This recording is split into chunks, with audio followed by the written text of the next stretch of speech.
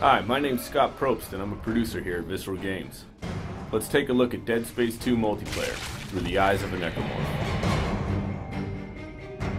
Necromorphs use vents to spawn in the Dead Space 2 universe, which is a key element to keeping the humans on their toes. Here's an example of Necrovision, the Necromorph's unique ability to see humans anywhere on the map, making them moving targets for the Necros to seek and destroy. Pack is the creepy baby of the bunch.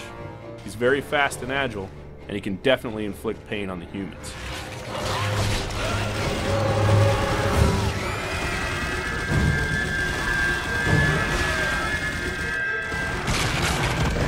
The Lurker has a long range fire, which is extremely lethal when combined with his unique ability to walk on walls.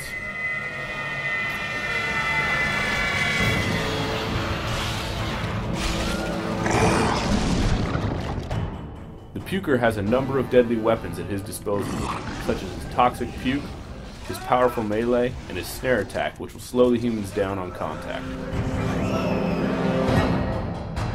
The Spitter, well, she's the female of the game, and she can do some serious damage with her long range toxic spit. Or she can get in and use one of her other tactics, like a vicious execution. Get ready for some strategic dismemberment in Dead Space 2 multiplayer, or as we like to call it, Outbreak Mode.